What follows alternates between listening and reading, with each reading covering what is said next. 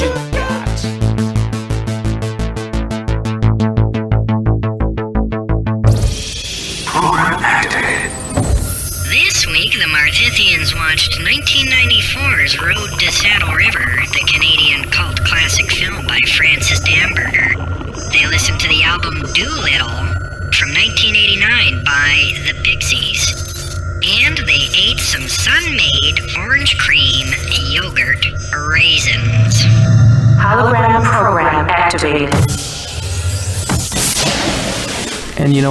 They can also be a maraca. A maraca?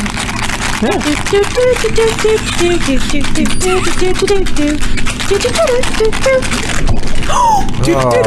I'm ah. sorry, Mitch. I bumped you. Oh man. Line three, do a test, please.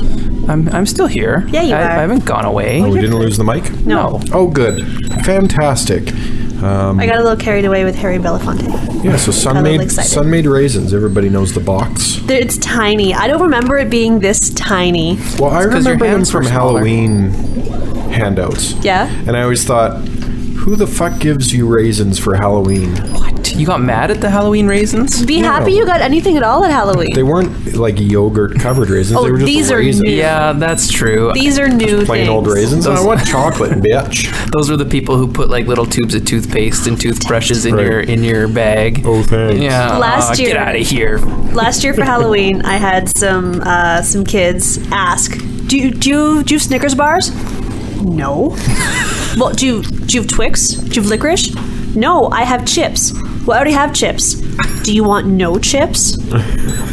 No, and they just stuck their bags out, and I was like, "Shit! If I had have done that, man, I, would have know. got slapped." Kids are getting shitty. Uh, You know, I'm even a little bit offended at Halloween when a kid comes to the door and they don't even bother to say trick or treat. None of them do, I'm like, what the fuck?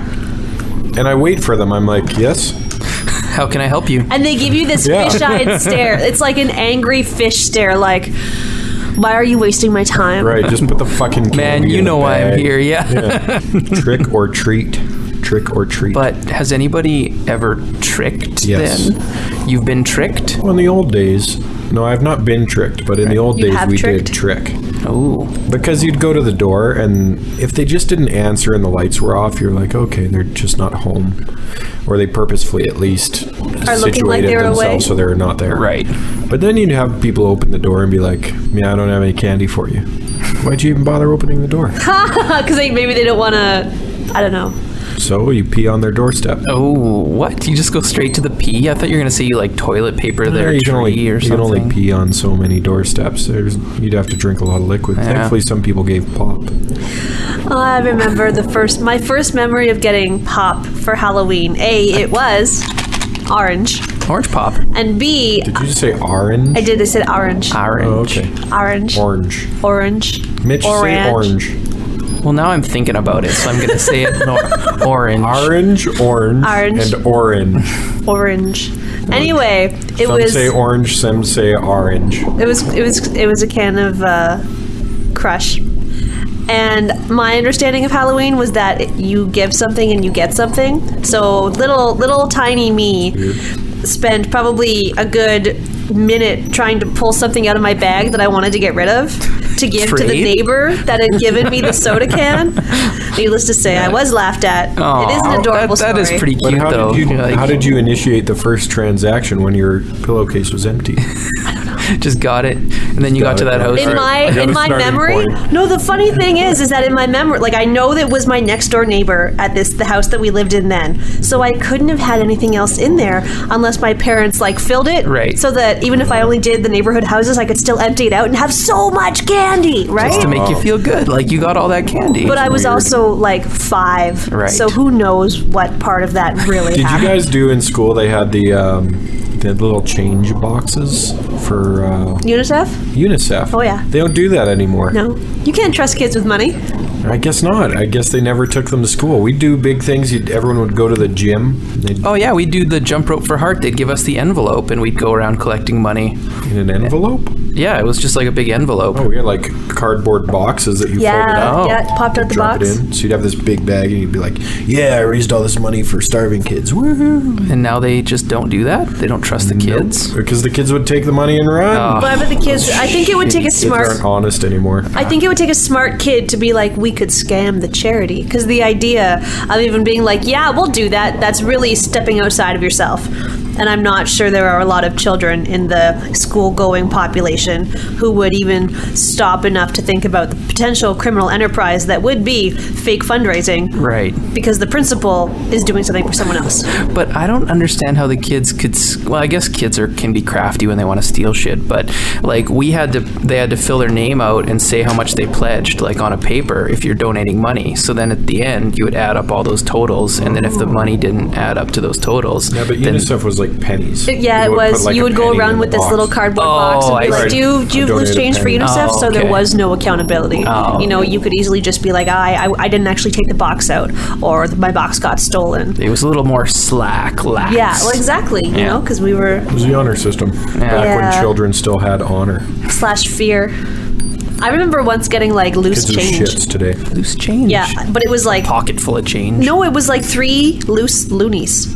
And I saw them go in, and I remember waiting till I like be thinking about it. The rest of because you know every town has like one of those big long streets that everybody does. Yeah. So it was at the top of the street.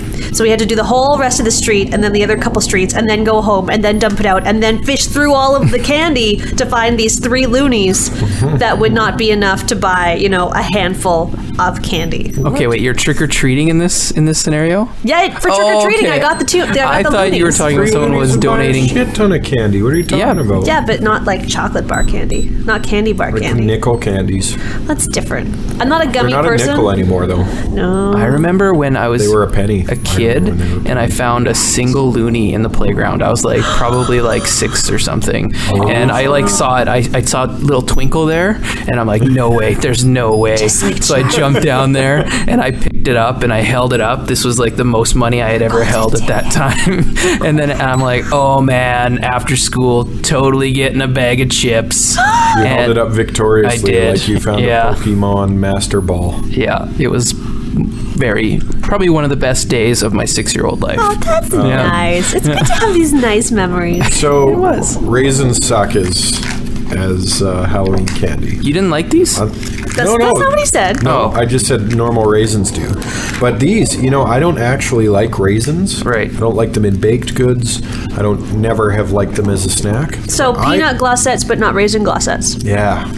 Yeah, I don't. I never like the chewiness of it, but th- with but this works. I like these. Yeah? They're good. You were one of those kids who, when they ate an oatmeal raisin cookie and thought that it was an oatmeal chocolate chip cookie, they were like, Yeah, disgusting. yeah. Spit that shit out and like, what the fuck did you just do? Why'd you give this to me? You're sick. You're sick. They're so weird. I mean, the orange cream yogurt is really pungently orange flavored.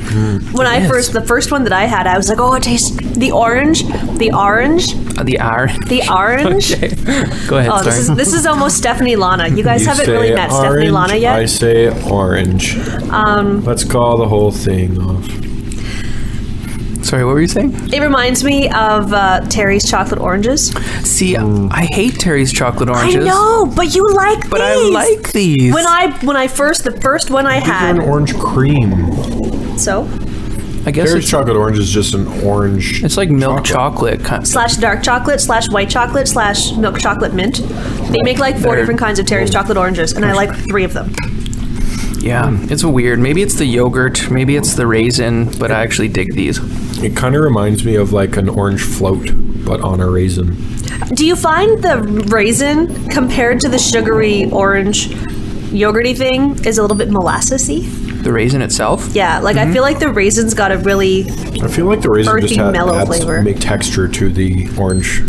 so it's an Flavor. or it's a textured orange thing. You don't really pick up a lot of raisin. No, but I'm not really familiar with what raisins taste like since I don't like them. Apparently, See, you, No. you have to be familiar with the flavor you hate, though. no, because it's more the texture that bothers me. Oh, I'm not a big. I don't really like the texture. You don't like chewy things necessarily. Mushy chewy.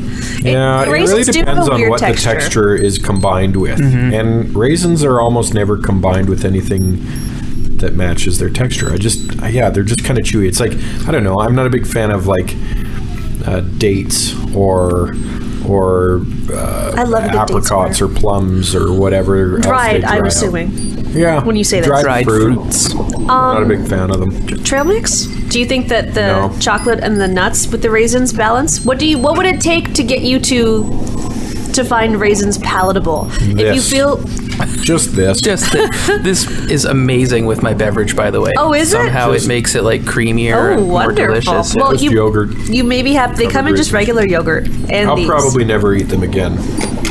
You say that now. I'm just gonna put a bag on your doorstep one day.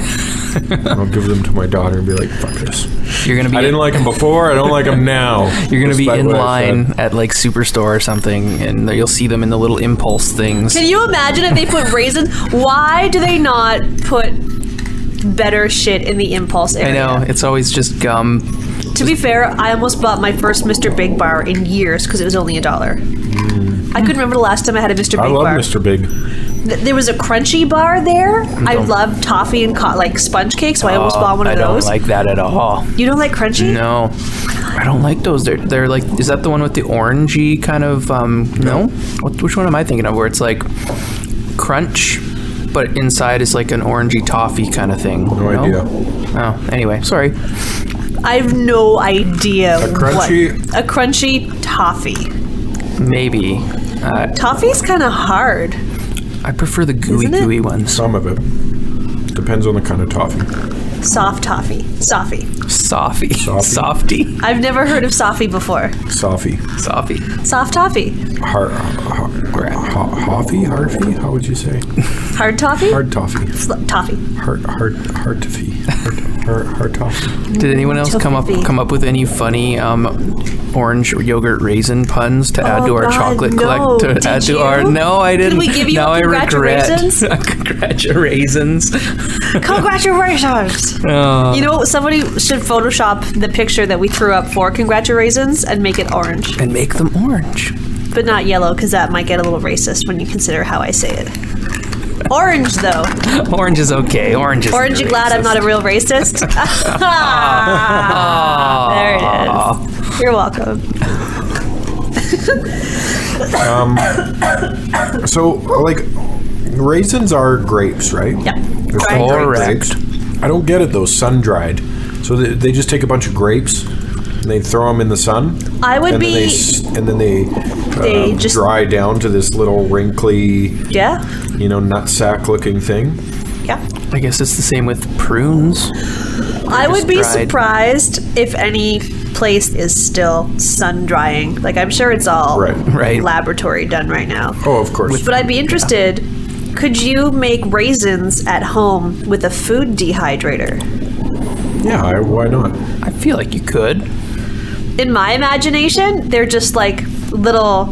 They don't raisins, and maybe it's the color. You know, like maybe sultana raisins are green grapes, and these are like purple grapes. Because what I am hung up on is how would because I, I had green grapes for breakfast today. So how would I be able to take that? How would it dehydrate down into this black shriveled up thing? So it must be the grape that you're using. Yeah. Uh, do do they taste different? Do the green grapes taste different than than dark grapes? Yeah, of course they do. I think But Green, green grapes tend to be more sour. yeah, I agree with that. because I've And then there's purple grapes and there's red grapes. They all have a different flavor. so what's a grape flavor then? How can there be a purple? How There's is that not. It's grape? a, that's a manufactured flavor. We've Yeah. discussed this in a Yeah. lot of episodes. well, I know, but I think that that's really one of our, our go tos. I know, but Yeah. who decided then that this grape is like the grape flavor? the first person who manu who marketed a grape flavored something. Keep- I Going back to stand that. by. What about Concord grapes? Concord grapes are what is very. Concord grapes? It's a. Oh, it's a. They're big, round. They're big and round. no, those are globes. Concords are small. Oh, Google. I'm on it. Somebody look this shit up because, like Welch's always talks about how they, They use always Concord. say Concord. Yeah, they're the little round ones that look like blueberries. Hmm. You know Yes. though, Yeah. wine is all made from grapes. yes. So I mean, you, you make that comment, but wine, if all made from grapes, and every grape defines what kind of wine it is, obviously there's a very different um, Types of types grapes. of grapes and flavors Yeah. of grapes. I'm not sure how many types of wine. I, don't- I, I don't think that generally you make wine with the skin on. So Sometimes they do. yeah, with skins. you With can buy wine that are Really? that's brewed with the skins. Yeah. Yeah. You Oh, can. I just assumed that they always did. I didn't know that. No, I'm pretty sure that it's like if you were to go to uh, a wine brewing place, you know, where you can brew your own wine, but Don't they, they, store it and mash everything. the grapes? Don't they mash the juice out and then make wine out of the juice? Right. They Right. don't just ferment the grape whole. No, they mash it up, but sometimes they don't like filter the skins out. Oh. Sometimes it's all just And what's the benefit of that? Just extra the flavor. flavoring changes. Yeah, It, isn't that wine is crazy how Yeah. they make it, isn't it? It It's is. amazing. It's amazing. Of all the things that get brewed in my house, wine's not one of them. We make cider, we make mead, we make beer, we jack the mead and the cider to make apple liqueur, and that stuff will burn your ass You off. jack it's it? It's so good. Freezer jacking. I don't know what that means. It's um, it's like distilling oh, but less than because you're only doing it in your freezer. Yeah. So you put uh, a two liter bottle of your your cider, let's say. Okay. And then you put it in the freezer, and then all of the water freezes, and what's left is the alcohol. the really then- good stuff. So you're concentrating it. So you turn the two liter upside down. You take the top off, and then the li- the liquor comes out. The water stays frozen. Right. Yeah. I always jack it in the freezer. Oh no. So Concord grapes are There goes your Christmas presents. They're often used to make grape jelly, grape juice, grape pies, grape flavored soft Grape drinks, and pies? candy. So it's, So maybe Concord grape grapes pie. is the grape flavor. it's probably grape the yeah pie. grape is Concord grapes. But some grapes don't make good wine. They just don't make grapes uh, wine out of those grapes at all. So yeah, yeah, grapes are very interesting. Um, and some probably make better raisins than others. And And none of them are safe for your who dogs. knows? oh yeah. I was reading for at your the dogs? stuff that can like poison dogs and cats. Almost And- anything. And it seems that way. Like Yeah. you give them grapes or But what's weird is that they'll eat it. Why wouldn't they? They don't know any better. They're stupid animals. Yeah. But in the wild, most animals are like, nope, won't eat that. That's poisonous to That's me. different, though. How can you compare a house pet to a wild animal? I don't know. You'd think they'd have some of the same instincts. I don't know. I don't. Well- how do they have like feral, you know, hordes of feral cats in certain parts of the world? They survived without eating stuff that killed them. That's true. maybe And my cat outside, it's not like he's running around outside eating all kinds of poisonous shit. He's catching birds and mice. right. My old lady cat. You're not supposed to give them avocados. be- So this is especially true for dogs. Avocados? That's another So one. yeah, uh, allegedly, th- and a it's because they it's so fatty, which makes it good for people, but it can upset animal stomachs. But b a big thing for dogs, especially, don't give your dog peaches, don't give your dog apricots, don't give your dog avocados because the pit's poisonous. Who's throwing a peach like it's a fucking tennis ball and saying, "Go get it, Fido, have fun," and just leaves the pit in there? What fucking person is doing that? It's That's tossing. stupid. Yeah, that's pretty Sorry. dumb. Oh, you're tossing te- peaches to your dog that you don't have? Yeah. oh. My old lady cat loves I avocados, toss, though. I toss them to other people's dogs. I, I get them to play fetch with me. Next time, I will let my dog poop near your lawn. I wouldn't do that. Aaron just grabs a bag of I peaches. wouldn't All right, I'm do going that. down to the park. I wouldn't do that now. Oh my god! Now that I know peaches are.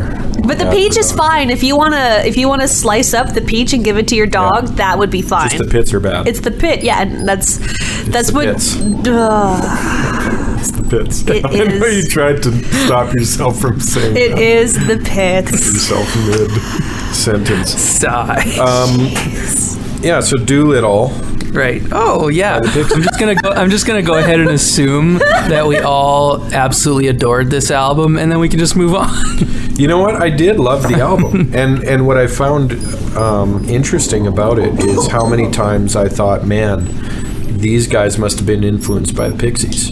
Right? Yeah, it, Right? it becomes obvious that they're a huge influence on a lot of artists. I oh, agree. okay. So you're saying you're, you listen to current artists that were influenced by the Pixies? yeah, You can Yeah. hear current artists in the Pixies. Modest So Mouse? Definitely. know- Oh yeah. they listen to the Pixies like, Like, a lot all of the that- time, and probably still today are listening to nothing Yeah. but the Pixies. Not to diminish their What own they're artistic doing. integrity, um, but it's it's These clear guys did that it that's first. a heavy, heavy solution. a lot of that like uh, solution uh, uh, Influence? uh, influence. That's it. Yeah mid 90s like um alternative indie in a sense i guess in early indie sense but oh, you can My phone's vibrating. oh Sorry. but yeah no they were they were crazy in some of the stuff that they did and and for coming out in 1989 Yeah. or this album they had stuff earlier all the way going back to like 85 It's i kind think of the genesis almost of Yeah. modern alternative rock. Yes, For and sure. I I read alternative rock on their wiki page, and I didn't kind of get that at first. I was kind of Maybe not now. When you Right. think of what alternative rock could be now. right. You Well, kind that's the problem with labels like alt, alt rock or alternative. You know, even in the '90s when g- bands like Goo Goo Dolls and stuff were considered alt rock. Mm-hmm. That's cute. Yeah, I mean that's funny, right? Because we don't, we Now don't it think of it that way. No. Um, and at the time they were, you know, top 40, hit number one, that kind of thing. But basically anything considered alt rock is something that doesn't fit the sort of status quo of rock right. Yeah. That preceded They just it. they just kind of throw. Well, that's that's a little alternative, so we'll just put it over here. That's a little unique. Yeah, that's a little. That's a little Well, and that being said, there's no such thing as an alt rock um, section in a CD store anymore. I, s- yes, I still go to HMV and other CD. I was going to say there's Wow. a CD store. Yeah, there's like umbrella terms that encompass everything. So even pop and rock are in the same category. It's rock slash pop. rock pop. It's rock pop. And then Pop you rock. have Pop rock. punk and you have metal. And that covers like your entire gambit. Whereas back in the day when I was a kid, there was, you know, So many genres. there were and, tons, and they actually broke them down into those genres. But I guess not enough people buy CDs anymore. So They just kind of lump it Lump together it. now, and say say you got Bieber next to. right. Damn it! I was gonna The band. The band. There you Yeah, go. I mean, I go into. Um, but that's the thing too is I go into record stores now and they never have anything that I'm looking for. I basically sit at the counter with them at the computer and say, "Do you have this? Nope. Do you have this? Nope. Do you have this? Nope. Do you have this? Nope." But we can order all of those things. Yeah. Eh, thanks. They're less impulse buy if you have to order them in for me. Yeah. I could You have. can't go into a record store and flip through the aisles anymore. That's There's not no a th- point no. in it because all they have is your top 40 shit. Oh, I feel differently. The last record store that I went in, although to be fair, it was tiny. It was obviously oh. somebody's Oh. You passion gotta go project. to You're a talking record about store. vinyl though. Yeah, what are you talking about? I'm just meant like I'm just saying HMV. albums, like records, Oh. like in the umbrella term, like a oh. record. Like a physical piece of media. Yeah. Yeah. Okay, no, I meant a vinyl store. If you go to a good Yeah. vinyl store, you can still find that stuff. Yeah, that would like be you're different. saying. Yeah. Yeah, oh, for okay. sure. Yeah. Distinction made. Distinction, but did Well, you? and I'm old. They used to just be called record I'm stores. old. They just used to be called record stores. You know, And kids Were didn't they? know when- yeah. You're not Because what that else They is old. it? kids You're, didn't oh, I'm gonna go to the CD store. I'm gonna go to the album store. Yes, it was. A, People now are starting to differentiate what a vinyl and a record is because it's becoming popular again. But back then, it was just an umbrella term for an album. You didn't go to the album store. You went to the CD store. I never went to the. I went, I to, went the to the record CD store. yeah, I, th- I remember saying CD store. That was the term when I was a kid. That's weird. There was never Yeah. when we were younger though. There was really no other option. If you got a tape, you got it from like the discount bin at Right. the gas station. Yeah, they didn't because it sell was the tapes Simpsons. No, at the As CD little store. kid, they sold. As a little kid, I started with tapes. I started with tapes. Yeah. yeah, but I never went out. I was never old enough to go out and buy tapes. Oh yeah. No, yeah, I yeah, wasn't. Really? Yeah, I went out. Um, like, well, I wasn't old enough. It's not like I was earning an income by then, but You my- were cognizant that you were able to would- be like, I want to go do this. My dad would take me to the record store and I'd buy tapes. And the tapes were always in these like long plastic containers that Oh, the tape was like locked into. Yeah, Yeah, it was. And so you'd, I'd flip through the tapes and I'd buy a tape. They used to have that play with them on my auto too. reverse. They did. They were bigger. Yeah. Auto reverse. Auto cassette. Auto Reverse. reverse. La-ti-da. I see Go to what you bed, did there. I'd go to bed listening to an album, and I'd wake up listening to the same album. I one time had I had a Beatrix Potter tape, and when I was under the age of five, one time our smoke alarm went off in the middle of it, and I could no longer listen to the Beatrix Potter tape because I thought every time I got to that part, the fire alarm was going to go and our house was going to burn down, and I had like this little Danger. child emergency sack Yeah. with like my favorite toy and a pair of socks. Oh man, your your go bag. yeah, I had a just- go bag when I was like four. I don't now. Yeah, So Doolittle was. good. I mean, we all seem to think that Doolittle. was Yeah, yeah. You can you can you listen to it and you can hear you know half a dozen bands now. I heard a lot of Weezer. I heard a lot of Yeah. Jack White, um, and it just it it worked for me. It had that '80s sound. It had that kind of post sound, and I used that very loosely. Right. Because so many you can, as much as any any genre, you can slice post punk, post rock, post pop. there's whatever so many subgenres. There yeah, are, yeah. But I liked the you, the. It's not so much that it's n- unique. I felt like the Pixies are textured. There's a lot of different things. It's lots of ups and together. downs. There like are. there, there are those crazy, like fast punk, almost screaming Yeah, yeah, songs, yeah. and then it would go into kind of uh, "Here Comes Your Man," like the Is that their original song? yeah. Yeah, like it was. It, I just found personally uh, when I was when I was young. Google that. What's that? Oh, you're googling. He, he doesn't think it's an original Pixies. He is also surprised that it is. Oh, maybe I'm wrong. I just That- always only heard the Pixies version. Maybe it is, but it sure sounded like a. It sounded Classic like rock and a. roll. I'm trying to think. I'm trying to think of the song, but it. Yeah, it reminds me of like a some well-known, you know, Like '60s. It, it has that feel. I think they did it so well. And that's the thing. If you yeah. set out to be like, we're gonna, we're totally gonna do the Beach Boys, guys. Just fucking watch. Right. And you do to the degree that we're sitting here being like, no, it's not really their song. Is it That's really their gotta be a song? cover, yeah. Like uh, Depeche Mode just can't get enough. That's just so redonkulous. That Right. the Depeche Mode that I know is a little bit edgier. I know that it's drug fueled. I know that it's binge worthy. Yeah. So to think of that, it's just what, why, why are you How guys doing you? that Yeah. cover? Did you just do it like to get on the charts? You know, oh, this new band covered the Beatles. Whoa! no, that's fucking them. Are you? Are they screwing with They you? They fucking Yeah, did that. know. But you know, we've talked about it lots of times. You do what you can to get your foot in the door, and then you can muscle your way in to be like, no, here's my creative project. Here's what I want to do. no, I'm not okay with that. No, we know Um, you're not okay with that. Remember that band? I can't remember what they were called. I've told Mitch Oh, this great. story a lot of years, but uh, they they covered a Madonna. Every year he tells you this story. I've heard it probably every year, Did I but, say it, that? but it's a classic tune story. Is that what story. I said? Every years. Every Over the years? over the years.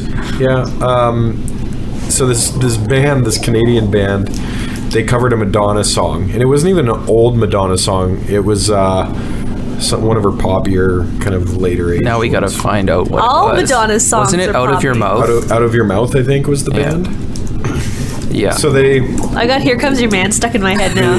they uh I just wanna dance like on Marcia Brady. Music makes the people Oh, yeah, yeah. come together. Oh. so That's they did the like a rock song cover of this, and it wasn't even that old of a song when they did it. It it hit Canadian airwaves and it took off, and they it became this huge hit for them. And I remember one time at the store, they must have been driving through to, through Lloyd and came into the store, and they go, uh, he goes, uh, yeah, he, he's buying picks, just guitar picks. He goes, yeah, you got any discounts for musicians? I said, no, sorry, we don't. Because everybody's a musician that shops at a music store, by the way. I Um, would just want to walk in there someday if you guys didn't know me and just get a patch cable. Just be he like, goes- yeah, I need this I need for this." reasons. For reasons. And just like cut the, the ends off and I just must- take the wires. I must know for what reasons you need this cable. How come? how, why, How, how come? why come? Um, Whoa. because Nah. Phrasing. so the guy, Phrasing. so the guy he says you have discounts for musicians and, and I said no and he says well you know who I am right? And I said no sorry. Who talks like that? right. And he says he says I'm from I'm from that band out of your mouth. And I'm like uh, who? Out, out of your mouth. We did that Madonna cover. I'm like oh great. That'll be four dollars and whatever At cents, least please. he knows like, the only reason he's famous was that he did the Madonna Madonna, cover. cover. Right, but I thought, what the fuck? You have this like big hit in Canada. You're you're on a nation nationwide tour. You come into my small town music store and you go, "Hey, guys, do you give a discount on for musicians?" Fuck, are you kidding me? Yeah. You gotta be kidding me. I just thought, and then and then to kind of name drop himself, I just That's thought, man, that's low, that that's pretty douchey. pretty douchey. Yeah, yeah. So that was my experience with Out of Your Mouth. I don't know why we got to that. Uh, Doolittle, we keep getting off track. Yeah, yeah. Um, but there, there were Off tracks I, there were tracks I, I was very aware of before I listened to the album, like Debaser. Debaser and you like Yeah. there are songs that everyone kind of has heard before, Yeah. but Yeah, yeah. Gouge Away. I- You- I know, love and what I found interesting was that the the length of the album yeah. is is what 40 minutes and there's how many tracks on it See, just shy of 40 minutes There's a funny story about that. I read um, that Black Francis was criticized about that by his producer about how the length of his songs and how they average to be like uh, two to two and a half minutes per song on the on this album. And his producer said, "Well, you can't release an album with most of the songs being under three minutes long." And he apparently took him to the record store, to the record store, and uh, gave him like a Buddy Holly greatest hits or something like that, and and showed him, and, and and it was clear that all of his hits were two minutes, around two minutes. Right. And it's like it doesn't matter the length of the song. That's not what I'm trying. It doesn't have to be three, four minutes long. It's just that's however long I want the song to be. Whatever. Screw you guys. If, Yeah. I, if I want to write a song that's a minute 55, that's that's as long Don't as it needs how to be. songs. Yeah. either it's good enough that you want to release it yeah. or go fuck yourself Yeah. yeah i mean that's the way that it should be Yeah. i mean 15 tracks you know and back to a favorite reference of ours we did kind of get on the case of uh, Sum 41 for the length of the album, album? and the amount of tracks that they had Yeah.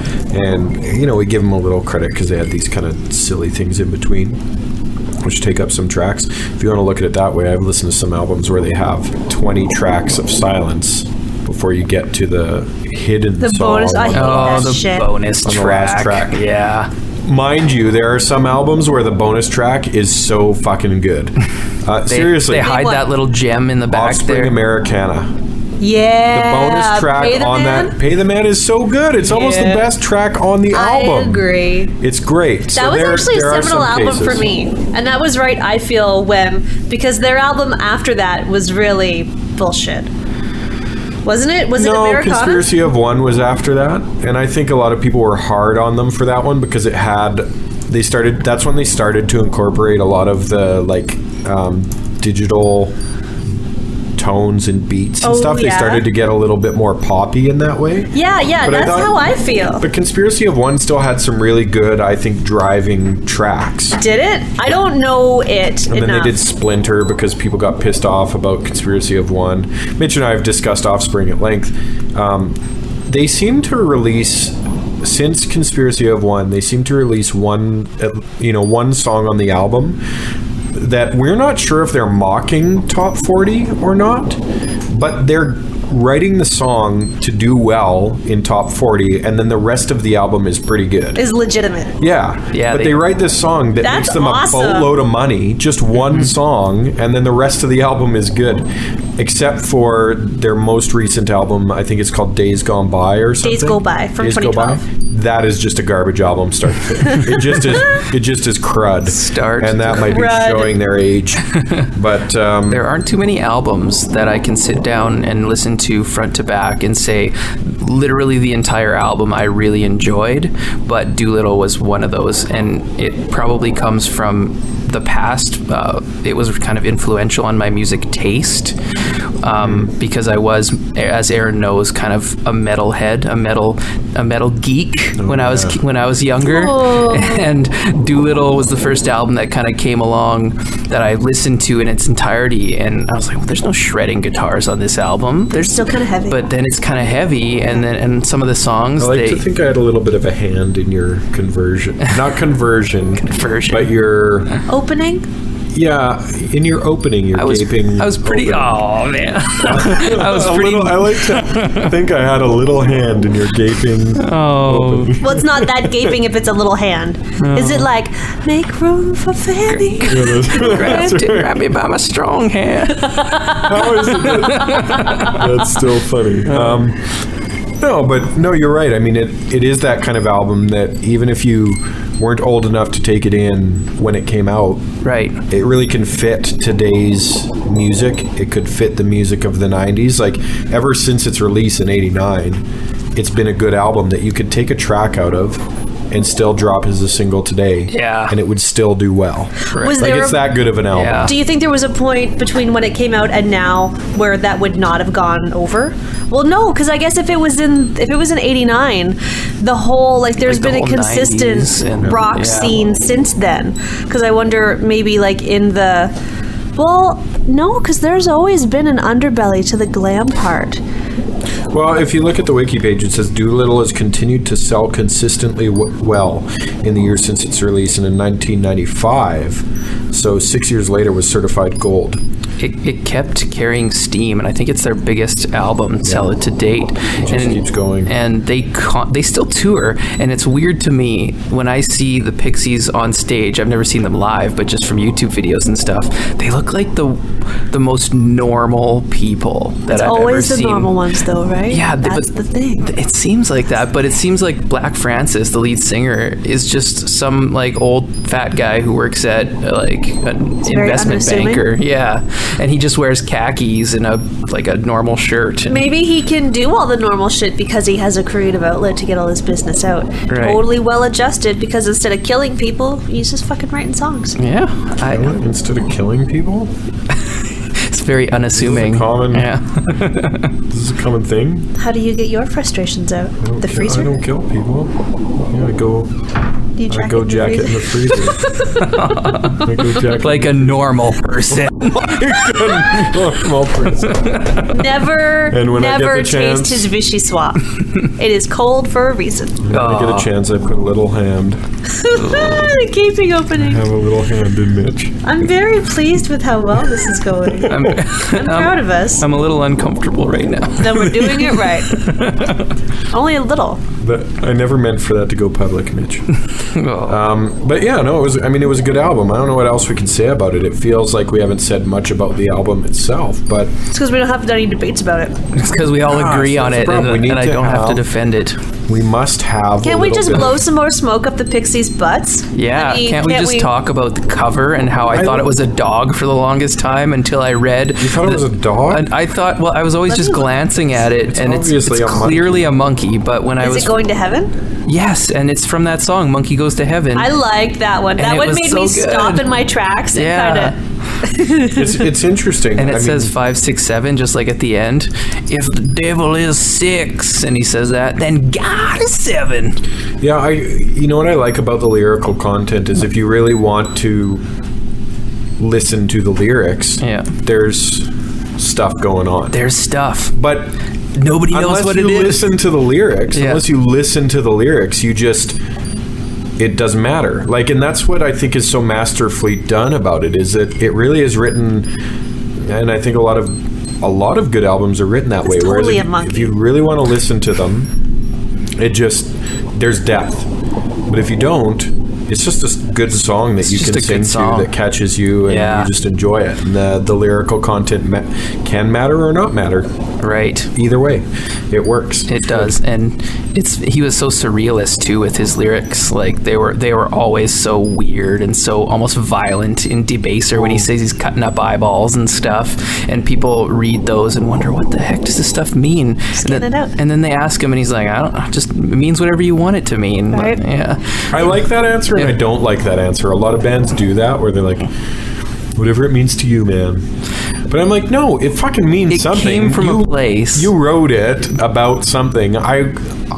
It can just because you tell me what it meant when you wrote it doesn't mean it changes its meaning for what I think, what it meant to me. What if somebody just took a big parachute of salvia, wrote whatever came out, and what was legible stuck? And it really didn't mean anything. Consciously, consciously. It just sounds super Uh, deep. Yeah, okay. But but It I probably sucks if you did that.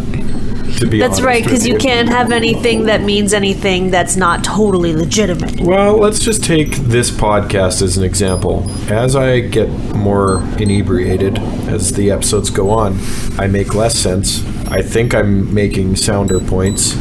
In But your then upon listening back to it, I'm significantly stupider. Sometimes. Most of the See, time. I like to make my stupid consistent. consistently. st- Yeah, but if you if you drink as I mean I drink more because this is in my house. If but I we all drank, drank as much as, you, I drank, I'd be dead. Ugh, we would. This podcast would be pretty messy. I do I think. drink that much? I can't drink that much. Uh, I better finish this off. On that note, I need another drink. No. You would not actually. You would believe how many segments end with just that phrase. Yeah, I bet. I need a drink. it's usually Aaron. All right, we need a break. I need. I gotta go have a smoke. Black, Black, Black, Black Francis. I like the name. I mean, what's his? Why did he choose Black Francis? As he's the stage black sheep of his family. I mean, I think he has a lot of kind of religious imagery in his lyrics. This one did. Yeah, I noticed a few songs. So where- Black yeah. Francis feels to me like it's a kind of an anti anti pope sort of idea. Rebellious. Sorry about the pups. Um, yeah, well, I don't know, like um, like uh, uh, as opposed to a a positive character in religious mythology, um, he's kind of like the black character gives me the imagery of like Francis, like a monk or something. Oh. And then you know, black, particularly in in uh, Eastern European mythology and that kind of thing, often references darker characters. After when the Pixies went on their hiatus, Black Francis went into a new band called Frank Black and the Catholics. Oh. See, um, there is a character called Black Peter in uh, in kind of Eastern uh, Christmas. Eastern European Christmas. Black Yeah. Peter. My grandma used to tell me about Black Peter when I was a little kid. Yeah, so Black. So Black Peter was this guy who, Was Yeah. he evil? Who yeah, Black he, he was. Um, so basically, No, honey, he was nice and cuddly. in I'm scared. in, co- in communist Russia, You don't make it sound like it's just Russia. Well, it was Eastern Europe. It was, you know, in Eastern Europe was relatively poor, and and anyways, this You had a good fucking reason to be afraid in Eastern Europe. Yeah, and and they gave you more reason. So basically, she said, "Here's what happens." If you're bad, um, there was no Santa for her growing up. There was Black Peter. So if you're bad, I mean, Black Does Peter. Krampus factor into your story at all? No. Okay, no, just- just Black Peter. standalone When I was a kid, really? it was just Black Peter. There was no Oh. such thing as Santa in Mariupol, Ukraine, Soviet Russia Civil War era, where my grandma grew up. It was just, Black, Peter. Black Peter. So Black Peter is this half man, half goat, uh, evil creature, and so he's got horns, but he's man on the top and he's goat on the bottom.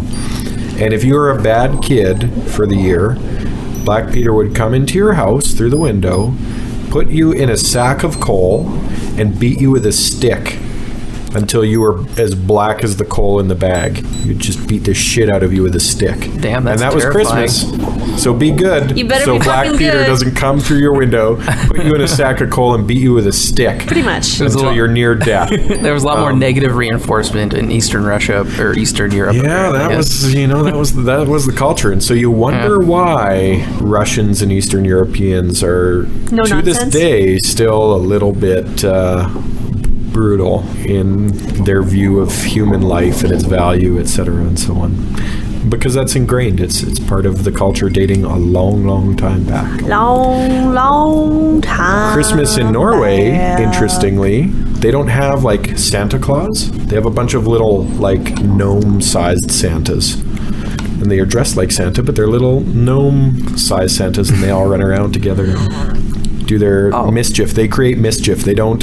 They don't. I, I don't think they bring gifts. I'd have to clarify this with my wife. Wait a But minute. I think They're they just, mischievous little gnomes. yeah, they're just mischievous, mischievous little gnomes. It's funny you should say that because there is a there's a movie out there, and I think that it is from the Netherlands, uh, and it's about capturing wild Santas.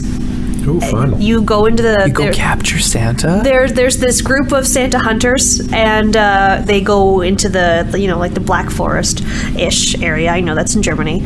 Um, and they're getting these, like, wildlife Santas, and there's there's big ones and there's tiny ones, and they export them as like uh, As a like zoo animals. Christmas Oh. business. Yeah, Christmas yeah, business. and I think that they're kind of like Santa trolls. I don't. fun. It's it, expected to come up if I can remember what it's called. We'll find it after I get a drink.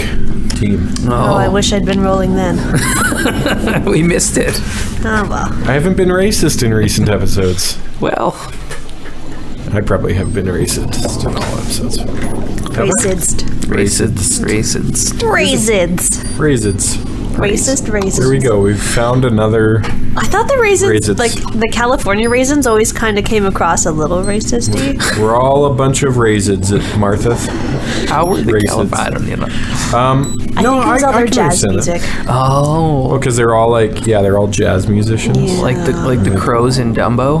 We can't we can't make them we can't make them country musicians because they're they're purplish black in color, so they got to be jazz musicians. If they were Charley Pride. if they brought them back, then They'd they be totally cool they'd, dudes. they'd be hip hop artists.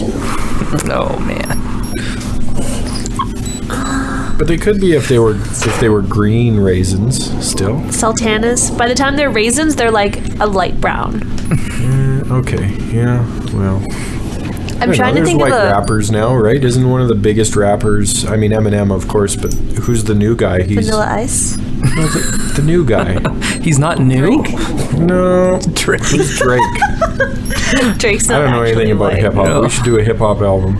Um, I wouldn't even know. Oh, you know that what guy. Do. I don't know either. It'd- I think it'd be kind of funny. That hip hop guy. Remember bad. the Yeah. the lead singer from Foxy Shazam just did a big hit single with him. He's from Seattle. I, I don't know. Oh shit. This is not Oh. anywhere that I would be helpful at all. Wiki. I know a Foxy. friend, or I have a friend.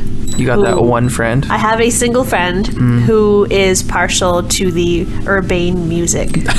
That was such a nice way to put it. The urbane music. Well, I don't want to. I don't want to be like, yeah, he Macklemore. likes. Oh, Yeah, oh, yeah. Thrift shop guy. the thrift shop. I didn't know that was a real song because I'd only ever seen the Value Village ads, and then when I saw that Macklemore and Ryan Lewis were a real thing and that was a real song, I didn't even know what to do with myself. They put that song on like a real thrift shop ad for Value Village. You've never seen? No. Oh my god. It's not Value Village. Yes, it is. No, it's, It's- Valou Village. It's Value Village. It's a little classier. It's a boutique Valou Village. It'd be a lot better if it was velour visage. Come on into Valou Village. We have your soiled garments over here. Are you a hipster? Well, you can find all of the clothing that fits your It costs a personal lot to look preference this at cheap. Valou Village. Valou I gotta start drinking coffee at these things. Co- Irish coffee. Why? Irish Because I'm tired. and the alcohol. It's not even Alcohol. nine. More You're gonna wake up, drink more alcohol. That's not how That's it not works how at it all. works at all. Oh, Not for me. something wrong. Or with Mitch. Me. Yeah. There's something wrong with me, guys. Road to Saddle River. River, road to Saddle River. How do we feel about Western Canadian Road cult to classic Avonlea. film? I, ha- didn't I- like road to It Avonlea. was so Part of it Canadian. It was, Isn't but it? not just It was Canadian. so It was so Albertan. Yeah. Yes. It was and that's what I loved about it. One of the things that really let me or enabled me to identify with the main character especially was his just I don't know the right emotion, but his interactions with the cows in the various stages. Oh yeah. And just the like the grimace, I, I didn't understand the egg part. The breakfast thing was just that made me that. Just uncomfortable. any meat, I think it's any meat. Is that why he was like, "Bleh." I guess so. Yeah, he was choking down the eggs. Yeah. I Because thought just because they were so running. No, I think he felt like he had to because he wanted to be a cowboy.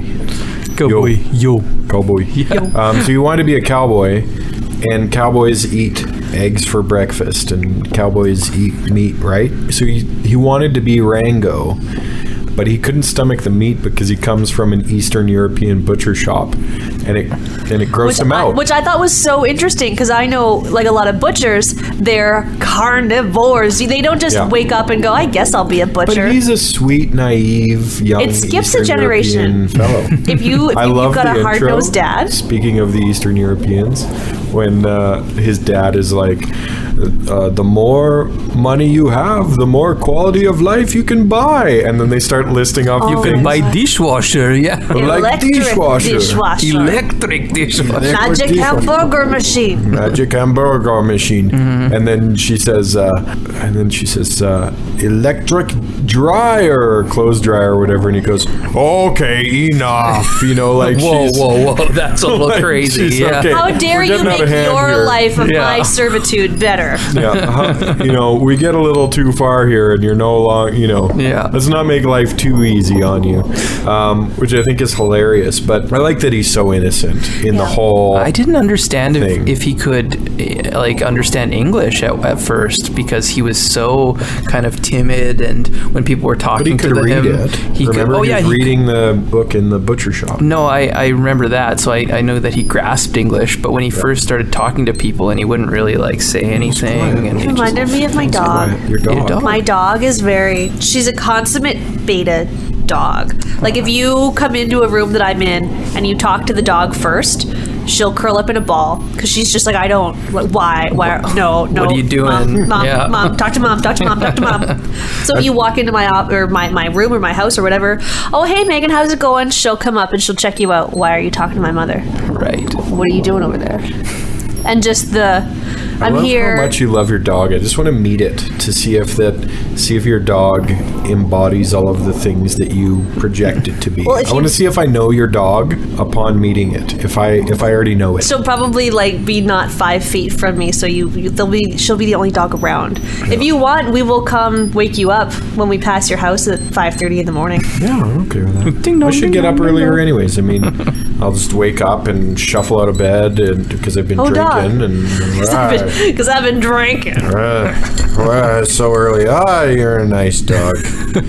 How Yeah, I guess I gotta get to work pretty soon. How epic was the like the Panavision? I I found Was the it beautiful? the the landscape or the way that, that it was shot was so um, reminiscent of those they they probably did that on purpose of those old western movies Yeah. like I had those a hard time with that. When it first went in, I spent probably five minutes adjusting the settings had on my to. video player and my TV to see what I could do to compromise. Yeah. Because I didn't know if part of it was the because the intro has the cowboy and Indian, so I didn't Yeah. know if it was gonna like go into full screen Yeah. Right. because they were doing something stylistic. No, it's in uh, what do they call it? Two point four eight to one, which is wider than sixteen by nine, which is a standard widescreen. They So label it's it as in- sixteen nine though. they th- i think Yeah. that's where we ran into issues trying to watch it on the tv because it was like formatted to 16 by 9 and then we tried to watch it and it was So it's this not weird- true sixteen nine. right. By the way, Yeah. anybody who's listening, email Francis Damberg. You can find his email on the message boards on the IMD page,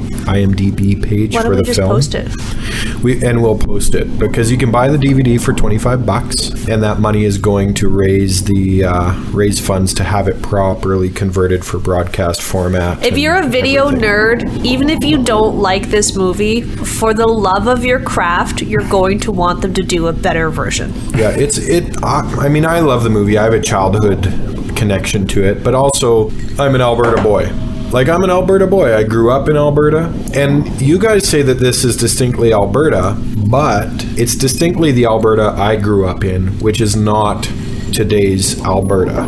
It's not, but my husband, who is an Alberta boy, and he is older than you are by a little bit, Mm-hmm. um, he remembers watching this overnight Really? on Showcase one time. He's Mm. yeah, like, late I, I, showcase. Yeah, yeah, I must have been looking for something else, It was but probably Super Channel back then. this part No, it would have been. Showcase. it would have been showcased Yeah, yeah. and i was it took me a while to be like well of course because showcase is canadian so of course this would have been on there and it was the scene where they meet up with the uh, the two native boys and Oh, they I have the it. beers and stuff He's like, I, I've, I've seen this before. We're warriors. Was that the the one- government pays us to Yeah. shoot Shoot gophers? Shoot the gopher. Wasn't that the one guy from Corner Gas? is. And I totally got confused because I went to the IMDb page for Ben this movie, Cardinal, I think, and he yeah. wasn't on the movie anywhere. He is. And yeah, he is. no, not that I could find. It's just not a still image of him. I and then I went to his IMDb, Yeah. and Road to Saddle River wasn't on there. It only Are you went back to like '95. Continue. Talk amongst yourselves. Interesting. I'm sure. I don't thought know. it was Ben Cardinal. Is that his name? Cardinal sounds right. I don't know what the first. Maybe I'm but- wrong. Anyways, um, I'll s- I, I love all of that. Norman Manyheads. I, I mean, I could associate with every character because there is that character at some point in my life. You know, the Eastern European immigration. My family are Eastern European immigrants. The whole feel of it. You know, Norman. I love Norman Manyheads. I love Norman Manyheads. He's the he's Him my his, favorite His character. ring-worm and his short hair. No, no. Oh no, that's yes, Sam. Businessman. That's, uh, oh right. Norman uh, Manyheads. Yes. played okay, by he's- Sam Bob. Uh, uh, or no, sorry, Sam Bob is Norman Manyheads. Paul Coor plays Sam, who has the ringworm. Right. Norman Manyheads is the Indian who rides Right. on the car. I Yeah, can't and he show goes, you the way. I can take you there, but I cannot show you the way. Which makes a lot more sense the more you watch it. I love, I just love, you know, you got tobacco? I take tobacco. I take tobacco. "Mm, I don't have any tobacco. Oh, you know, his dad, he's talking to his dad, Right. and he's like, Well, why are you going around with these guys? They have tobacco. That's the only reason why he's hanging out with these guys. he doesn't like white people. I love the story Yeah. that he tells. He's like, they're they're doing the campfire story, and he goes, "Everybody in the past, everyone used to be blue, eh? But then the Great Spirit gave them all different colors and gave them different things to do. To the black man, he gave water. To the yellow man, he gave uh, the sky. To the red man, he gave the earth. And to the white man, he gave fire. And one day, when they all, whatever it is, Yeah. come together again, when they all learn what they're supposed to learn. Yeah. he'll make them all blue again. And he's so pleased by telling this campfire story, and everybody else Everyone's is like, sitting what around the the, fuck fire is like, going on? "Ah." Yeah. yeah. The businessmen, you know, sum it up with, "Oh, Norman, you you really know how to liven up a party." Yeah, that's what he says. It's, yeah. I find it so quotable. I just love it. Elvis was the ultimate Indian. Oh, that was good. Yeah. Elvis. I'm, I'm on a vision quest, eh? To find my my spirit animal. The problem is I have so many visions. I don't know which ones are real, eh? You know. But Yeah. then I get into some pretty strong tobacco sometimes. Like it just is so I think it's so quotable. I love the whole I love the whole film. It's so good. Uh, listed as Ben Cardinal. no. Lorne Cardinal is what we know him as, though. Oh. Yeah. What, like a name change, or what do you Must mean? be. Oh, maybe that's why I didn't recognize it. I also noticed that the old guy who teaches them to ride a horse, played by Michael Hogan, Yep. um, was in season two of Fargo as Season the two of Fargo. yeah as And the multiple seasons of as um, the old guy, the old papa guy who got uh, um, Had the paralyzed stroke? in this chair. Yeah, had the stroke. Yeah, He's Right? actually very, very good. He was also in um, Battlestar Galactica. Battlestar Galactica. Um, Dieter was in Robin Hood Men in Tights. Eric Allen Oh. Kramer. I Yeah. didn't want to be like, that's totally Little John because I didn't want to, you know, I didn't want a Dolph Lundgren. Right. Oh, he's just a tall, Dieter. muscly white guy. Zaval is down, yeah. Zaval is down, yeah. Smells Yeah. like new spray paint. Yeah, Yeah, you got the Canadian Mountie. It's so good. Uh, Bessie Bingo, the cow flop. Oh my god, and that happened. That happens in real small towns. that happens in real small towns. Bessie Bingo. If you guys don't know what it is, look it up, listeners. Um, Goggle it. goggle. no, it. I mean a lot real of God. a lot of the actors in the film actually went on to have. I was really good surprised at that. Yeah, I met I met um, the writer director Francis Damberger when I went and picked up the DVDs. I went to his house to do it, and I did that because he grew up with my aunt in the small town that my family comes from. small town And Alberta. so I just I messaged him. I popped over on my way to a family reunion thing, and he takes me to his uh, his office, which is this awesome little like cabin on his farm property. This beautiful old two story farmhouse, gorgeous house. And he's just going to sit down with me and, and chat. And I was starstruck by him because I love this movie so much. But I didn't have time because my girls, my little baby girls, were in the car, so I had to had to get moseying on. But he says, you know, you know, anytime, just give him a heads up if he's around, he'll hang out. He has the car sitting in his. No lawn. way, the car I from this movie? I may offer him to buy that Is car. that like a and Gremlin? restore- it- no, it's a Honda Civic. Oh. An old It's Honda an old Civic. two door Honda Civic, and it's awesome. That's cool. I mean, I just, yeah, I just love the film. I find it so quotable. I think a lot of people would find it dry and slow. I feel like But- there's, there's probably a lot of people out there who wouldn't get it. I think. And that's the Yeah. thing. Like Yeah. between us having the, and I think that obviously we have, Very a, Marthian in its feel. yeah, yeah, and okay. Okay. well, It reminds us of home. Ultimately, I suppose. Continue, Meg. No. No, No? I feel like it would be a existential crisis to continue oh. with my train of thought. Continue. no, we're, I like we, these. have been I here like- for a while. I like it. we Existential can talk about our, crises. our Earth lives. And I think that, you know, Canada has a little bit of that dryness of the uh, English humor. Yeah. And I think Yeah. that that lends itself to this, especially because it, it is, it's such a, it's not a slow burn per se, but the comedy kind of is. It doesn't, it's like a consistent ebb and flow as opposed to big waves crashing on the Right. shore. It's very situational humor. and Like not you- slapstick. you It's not. to- no, you, you can you need yeah. you should be watching it to think that it's funny. You can't just walk into the room Yeah. and s- understand that you've seen a joke because it's not buffoonery yeah, necessarily. Yeah, when you have to catch yeah. the irony and all of the little things, like when they go to the KKK meeting, Right. And one of and there's so there's three of them, Yeah. and it's uh, it's the cowboy kid, and it's Norman Manyheads, and it's Lewis. Lewis, you got any tobacco? You dried up stinky old fart. I just love Maybe. I, it. Uh, maybe. yes. maybe. That means yes. I love when they just like it just shows them outside their vehicle, just kind of staring at a dead carcass, and then they just walk back to their car. Just- like that's. I the didn't entire- understand that's that the at entire Well, they must scene. have hit Yeah. it on the way. And because it's such a tiny car, it's worth Yeah. stopping to and see. none of them Yeah. are really accustomed to it. That's and the other thing I course, love. poor cowboy. Oh yeah. Poor, like I loved Cowboy Yo. just because he, you know, obviously he had such a dream, and to come to terms, and especially with the end. Oh my! Mm-hmm. If I had have been in a different emotional state, I easily would have sobbed during this movie. Poor guy. It was, you know, you do all this work, all of your dreams, you come so far for something, and then you just have to be like, no. I sobbed for Yeah. Lewis. I sobbed for Lewis. I love Lewis, and when Lewis, so when he doesn't ride the buck and bronc, Yeah. That rank bronc. That I love the way he talks. He's always spitting his tobacco. all over his shoe. Yeah.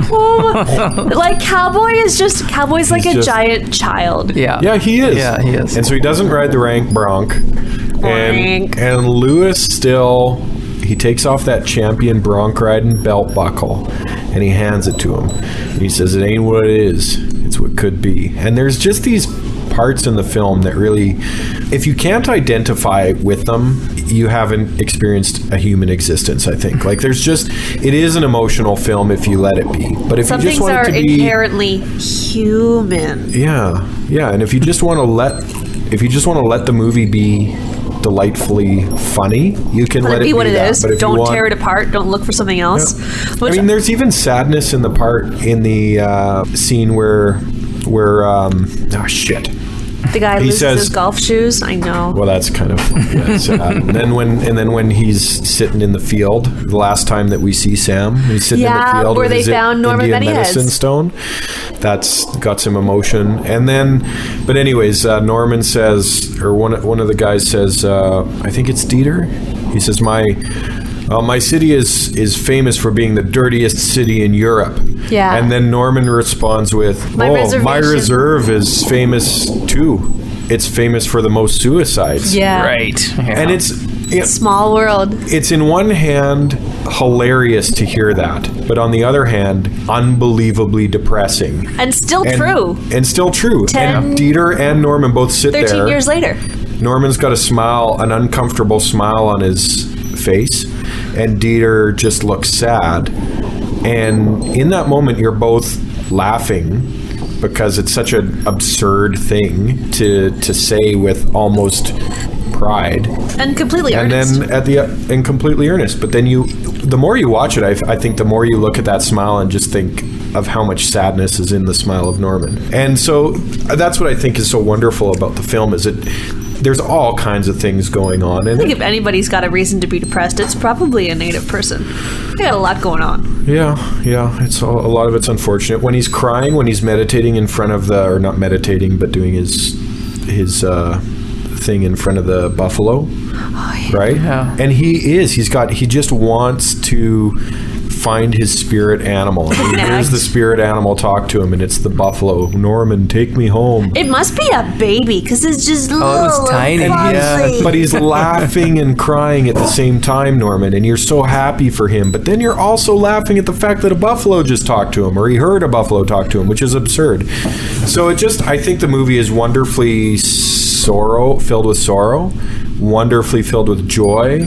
Um, It sounds like a complex film. it is. It's For- surprisingly complex. For a small, independently shot Alberta movie. entirely filmed in Alberta. Entire- Well, that was the thing. Watching it with Chris, he was like, "Landmark, landmark, Yeah. landmark." Those billboards were real. Landmark, Yeah, landmark. the Yeah, Alberta I'm beef. serious. If it ain't Alberta, it ain't beef. And I, I, I looked at it. I was like, "Yeah, go fuck yourself." No, there was one outside of Airdrie, and there was one outside of the reservoir. So Oh yeah, they were everywhere. they were everywhere. Yeah, And Albertans still feel that way. Like old school Albertans are still feel like if it ain't Alberta, it ain't beef. How Well- mad were they about the whole Earls debacle there? A lot of them mad, and that's why Earls is now Like back backs- very quickly back to selling. I Alberta heard beef. so many beautiful conspiracy theories about that. Like the guy who owns like the top, top, top guy at Earl's is Muslim, and they're just trying to get all all Oh, beef get out, or they want it to all be uh, halal, so they're not letting the Alberta farmers do it. And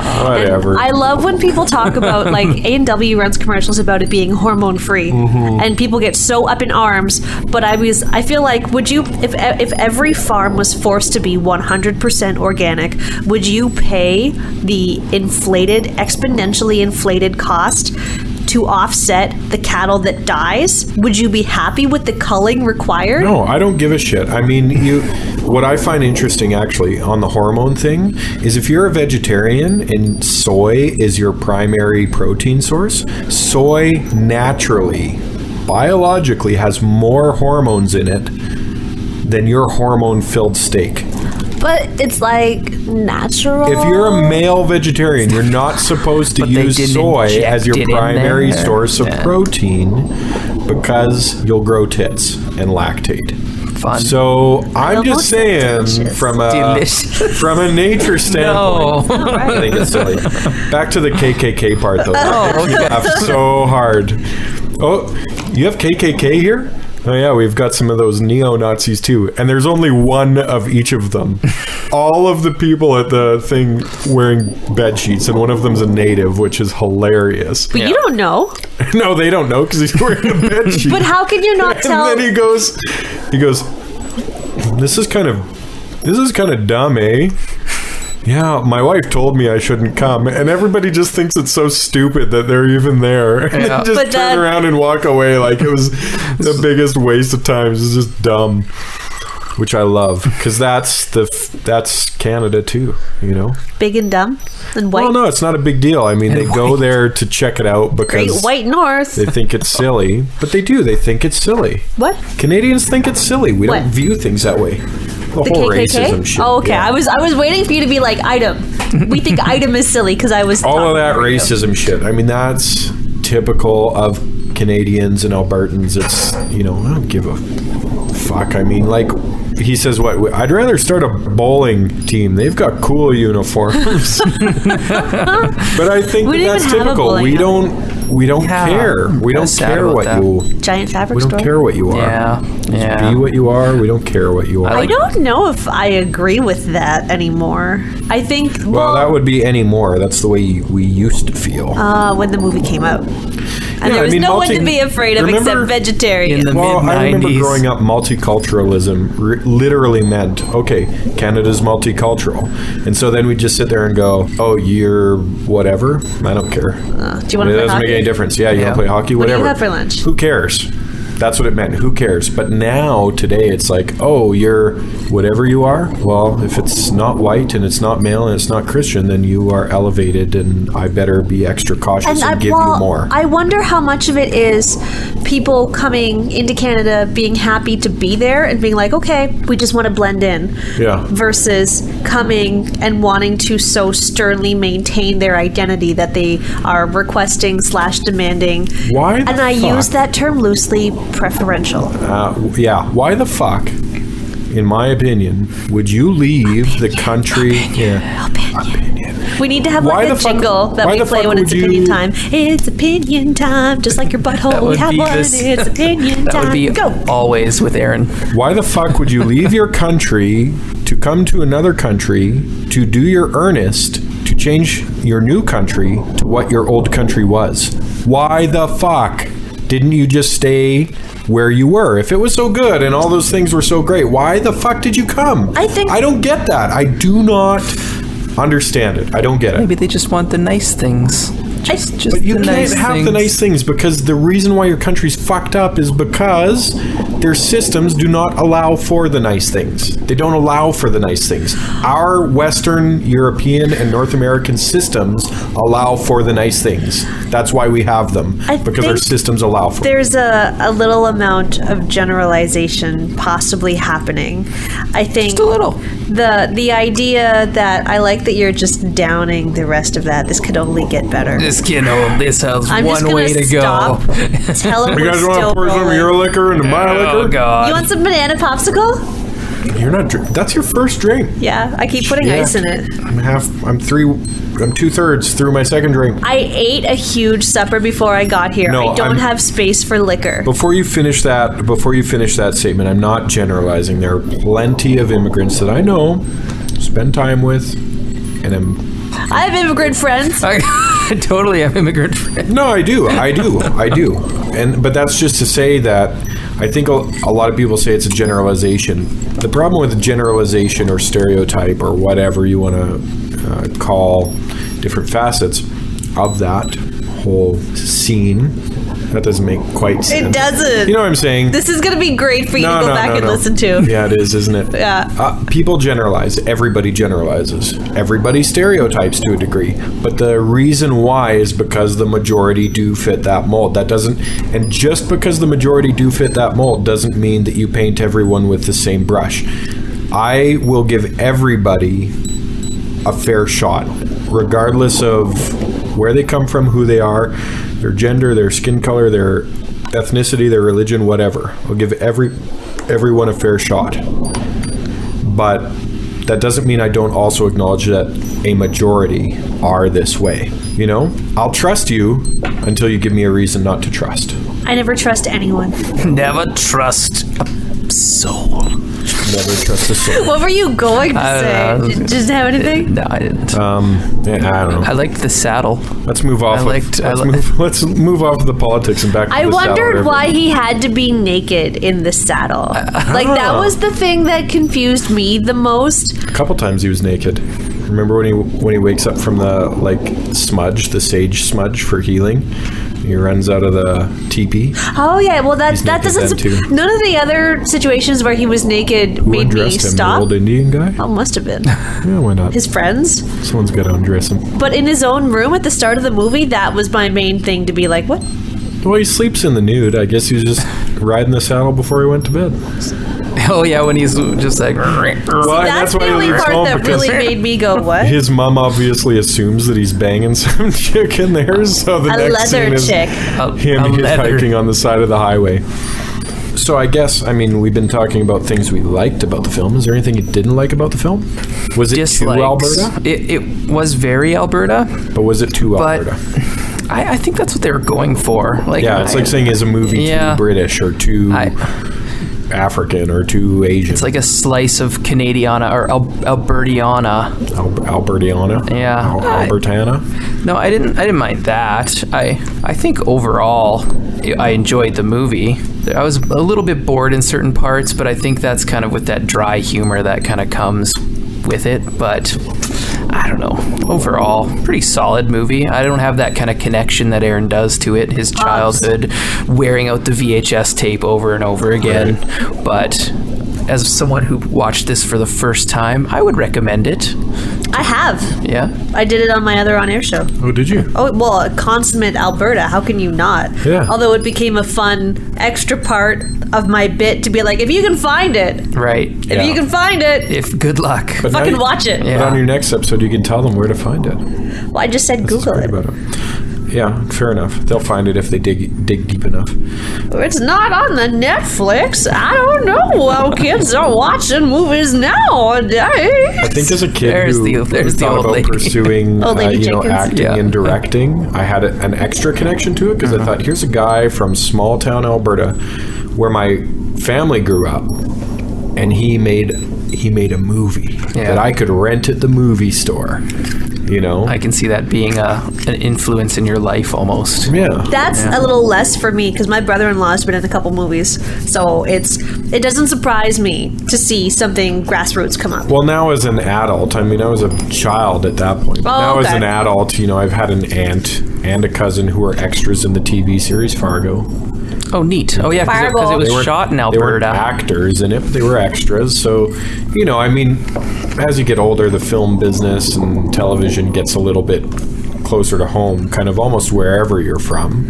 Um, but as a child, it was like a mo- you know a movie. A Movie stars in the sky. Yeah, and it's different when you can rent it at a store back in the day. You know, like it's it's not like someone filmed it on their VHS and hand distributed it. You know, It's not a Leg. zine. you could rent. It's not it. a zine. you can rent it for listeners at home. We have the I have the poster.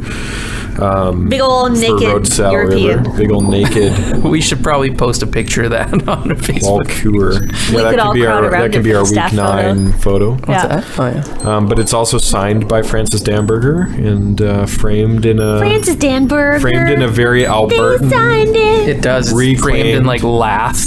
Albertan reclaimed fence wood Oh, yeah. frame. Um, you know, built by a rancher. Rancher. So Alberta. Rancher. I wish I had a raisin I could crunch. Basically, everybody needs At to the watch the very film. end. Is that's the impression I get.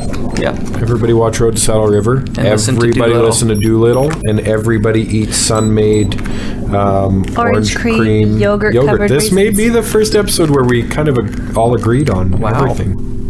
The Facebook post. Huh? That's the sound you should make when you read the week That's true. week nine summary. Week nine. Week nine is probably good, the most yeah. boring episode you've heard today. What? Boring. I don't know. Well, Meg, you said you liked episode eight best because it seemed like we were the most agreeable. And I feel like saying most agreeable limits it. I felt like we had decent conversations because they were just kind of all over the place and none of it was defensive. See, and I liked episode seven because we You're got a a little bit aggressive. Because Aaron. Fuck you, Aaron- Meg, Meg and Mitch. Fuck you both.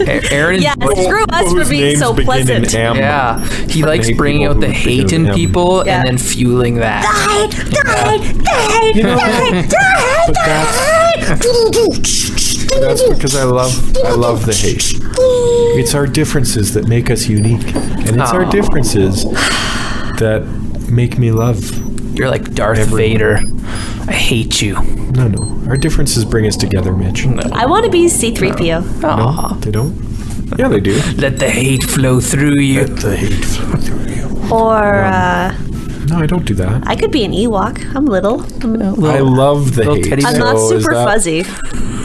I love the hate. So you're don't take that out of context. You're a big I, pile of I oatmeal? don't love people who hate. I just, you know, If I don't hate like was to a person, he would love to bone it. He would put his little hand in his Little hand skin. Oh no! He would jack it in the freezer. If hate was a person, I would jack Oh. it in the freezer. Have you guys been to our Facebook page lately? Because No. this is a great time to check it out. Okay. Hologram program deactivated.